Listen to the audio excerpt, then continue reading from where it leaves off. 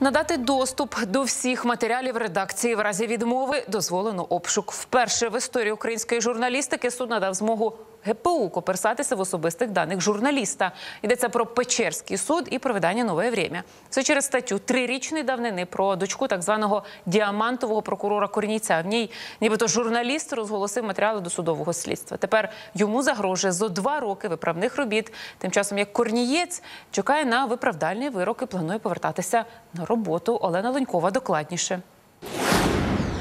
Званий діамантовий прокурор Олександр Корнієць. Саме той, гучне затримання якого показували на всю країну. Нехай вони вам покажуть ці діаманти. Вони навіть на один палець не помістяться, ці діаманти. А це журналіст Іван Верстюк, автор резонансних розслідувань, до прикладу, служилі два товариша про корупційні оборудки в оборонці. Що спільного між цими двома чоловіками?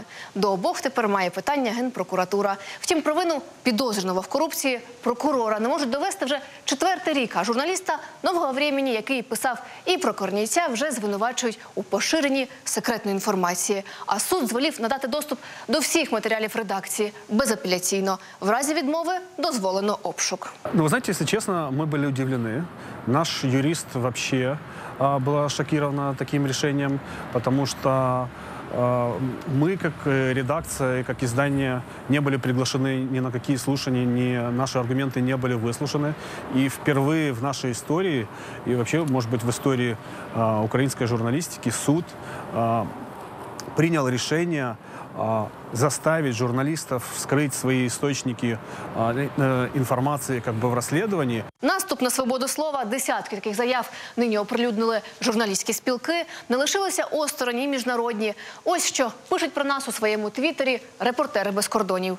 В преддверии выборов кажется, что посягать на защиту источников информации стало обычным делом в Украине. Хватит! Червоніти перед світом змусив Печерський суд столиці. Вдатися до безпрецедентних заходів дозволив тамтешній суддя Карабань, який побачив у статті журналіста розголошення матеріалів досудового слідства. Я написав статтю влітку 16-го року про те, як донька брильянтового прокурора Олександра Корніця навчалася в дуже дорогій лондонській школі Святої Марії. Е, І це коштувало Корніцю 120 тисяч фунтів при зарплаті у 200 тисяч гривень на рік. Стаття Діамантова дочка, а у ній 17 сторінок на підтвердження слів журналіста. Хто дав ці документи, журналіст говорити не воліє. Я маю право навіть не те, що не розголошувати. Я маю право в- не ходити на допити, а генпрокуратура не має права мене на допити викликати. Обурення журналіста-розслідувача підтримують і медіаправники. журналіст може послатися на те, що він не може бути допитаний як свідок, і крапка. Журналіст не зобов'язаний е, зберігати таємницю, зокрема ту таємницю слідства, якщо тільки він не давав підписку про е, як зобов'язання про нерозголошення. У прокуратурі трактують закони інакше. Будь-яка людина, незалежна, водій, шахтар, журналіст, геолог.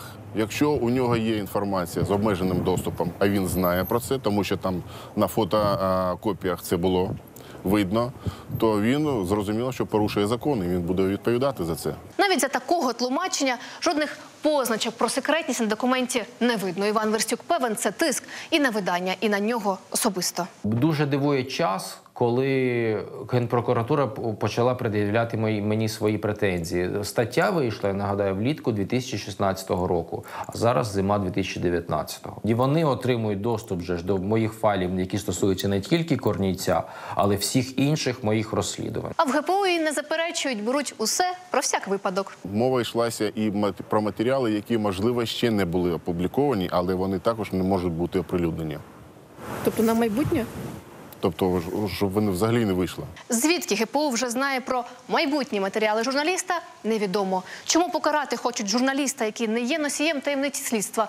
Теж питання, як і те, чому надати матеріали журналістів нового времени ГПУ вимагає вже вдруге за півроку. В нашем же случае, вместо того, чтобы бороться с коррупцией в своих рядах в Генпрокуратуре и во- и вообще в прокуратуре, да, а, прокуратура ищет человека, который слил нам эту информацию для того, чтобы побороться с ним и обвинить его в нарушении тайны следствия. Иными словами, а, прокуратура генеральная тратит огромное количество времени и сил для того, чтобы бороться с теми, кто борется с коррупцией. В итоге прошло три года наши журналисты ходят по судам, ходят на допросы, а, нам грозят обыском и так далее и тому подобное, а господин Корнес до сих пор не наказан и не понес ответственности. Та слава Богу. Нести відповідальність пан Корнієць і справді не збирається. Збирається працювати в прокуратурі. Зустрічаємось з ним одразу після засідання суду. Надо же на работе восстановиться, незаконное увольнение. Что говорят, что обещают? То же самое, что и в э, Голосеевском суде. Подождем. Ну, там надо выносить однозначно оправдательный приговор. Потому что события преступления не было. Він укотре скаже, що його обмовили, що він не корупціонер і пожаліється не на суддів, на змі. Состояние журналистики украинской меня, конечно, удручает. Информация, которая была в этой статье, она правдива? Да, она правдива. Я продал квартиру в Киеве и спокойно оплатил обучение дочери Великобритании. Цифра, которую они там называли, она не соответствует действительности. Там обучение не стоит 200 тысяч, оно стоит 10 тысяч в год. То есть эти документы неправдивы? Да, Утім, найцікавіше виявляється саме Корнієць і був ініціатором справи про розголошення інформації. Когда я увидел в интернете м, эти документы, которые дало правительство Великобритании, я написал и в посольство Великобритании, и в уголовную полицию Великобритании, которая давала эти документы.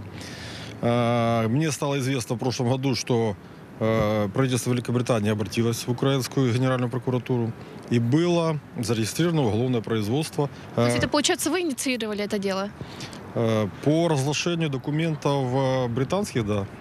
Это было моє заявлення. Тим часом журналіст Іван Верстюк уже звернувся до представництва ОБСЄ, ЄС і посольства США. Готують у редакції позов до Європейського суду, рішення якого може заблокувати ухвалу Печерського суду.